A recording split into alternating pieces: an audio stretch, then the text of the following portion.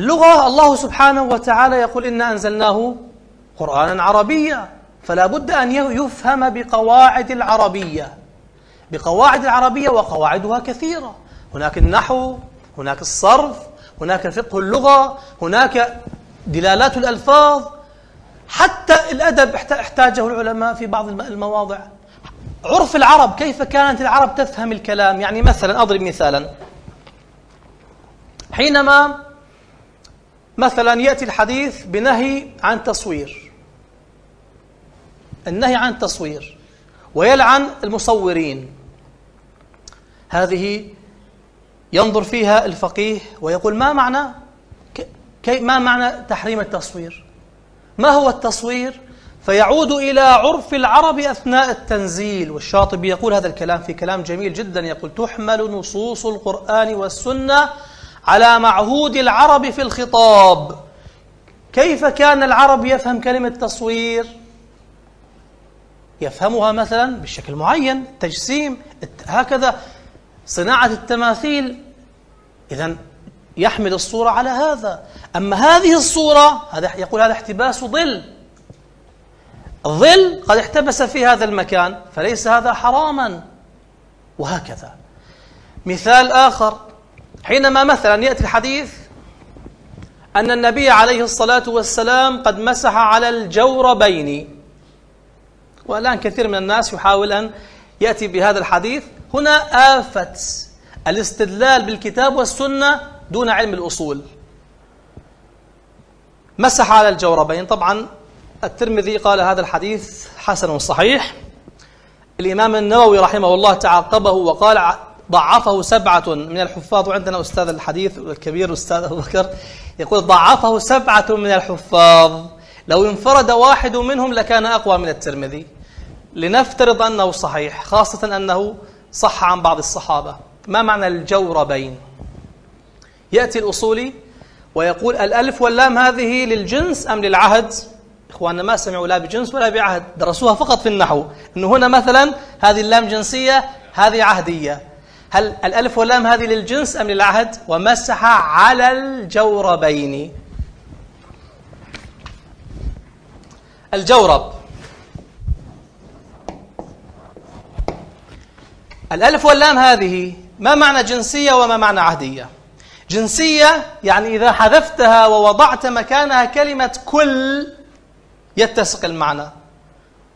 مثلا الحمد لله رب العالمين. إذا حذفنا الألف واللام وقلنا ماذا؟ الحمد لله كل العالمين يصير إذا جنسية لجميع. العهدية خاصة بذلك الموقف. فأجد الجورب ينظر الأصولي ويقول سبحان الله هذا الحديث مخالف لآية آية المائدة التي ذكرت الأعضاء التي يجب غسل أن تغسل. ثم هذا الحديث نعود إلى الجوارب التي كانت أيام الصحابة كيف كانت؟ فأتوا بجورب سيدنا أنس وصل إلى الإمام الأعظم. بعض الناس ولا سيما من يعني من أهل هذا الزمان يقول من أين أتوا بهذا الكلام؟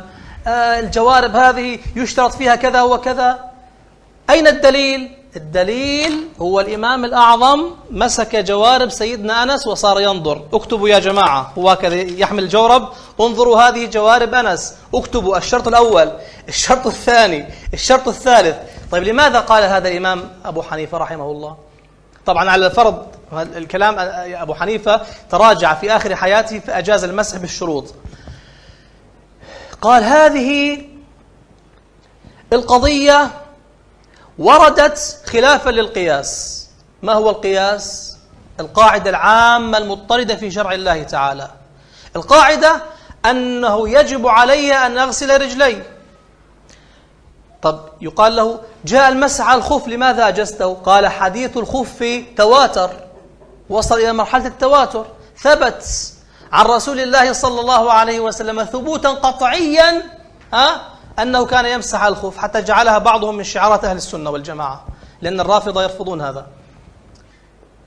لكن الجورب لا خبر واحد وفيه ما فيه واحد يصححه وآخر يضعفه فأنا أرجع إلى الأصل.